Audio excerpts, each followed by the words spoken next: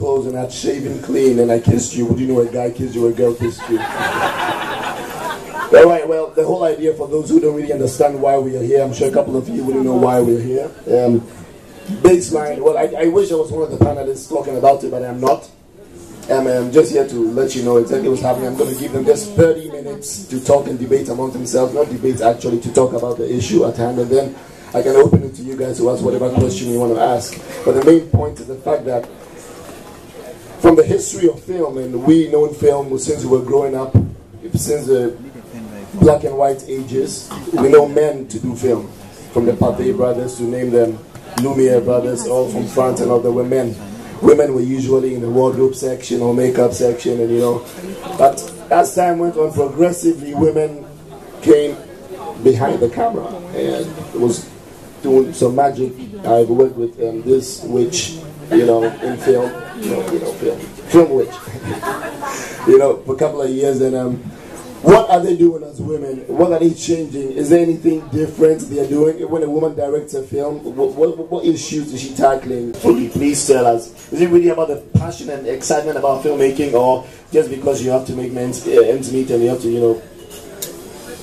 Um, like you said before, when this industry started, it started as a man thing. It's, I mean, the whole world is a man's world, right?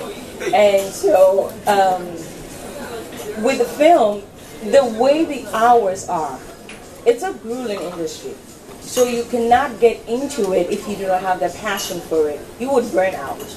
So for me, it's all about the art. It's all about creating a world, creating um, situations, you know, a hero, creating a hero, and putting the person through life and seeing the person come out of life. The business aspect of it, it's icing on the cake, of course. Investors give you money, you have to pay them back. You have to pay your bills. So to get a film out there, people have to pay for it. So they, I think they go hand in hand. But you have um, a, a, group of film um, artists who we call auteurs who are not necessarily interested in money.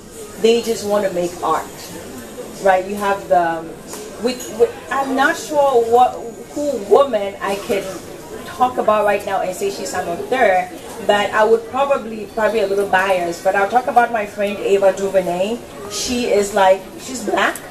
She is the latest Hollywood sensation. She did I Will Follow. She did Middle of Nowhere. Now she's doing Selma, which is produced by Brad Pitt's company. And Ava is all about art you know, she's not necessarily that commercialized. You know, Selma actually fell into her lap. And she is, and the DP she's working with has not shot any commercial films. He shoots art. So we're all excited to see what Selma is going to look like with the kind of DP she hooked up with, right? So it is really about the art for some of us. And I think with women, it is more about the art because we really don't get hurt. So if we get the opportunity to be heard, we are the problem. I remember Kwawansa called me and said, Leila, I want us to do, and he was like, he actually took my movies, he played promos on his um, TV station, he was like, bring the movies to my shop, I'll get them to come and buy from there. See, if everybody had his mentality.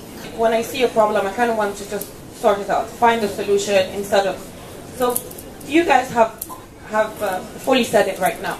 The problem is the fact that you're not united. The problem is not the bill that's coming up. The problem is not these people who are distributing. The problem is not is not the bad quality of the movies. What you really need to sort out is have a, an association, one that's actually for the good producers or good directors, as you put it, and that you just have a charter. It's so you don't have to depend on a bill.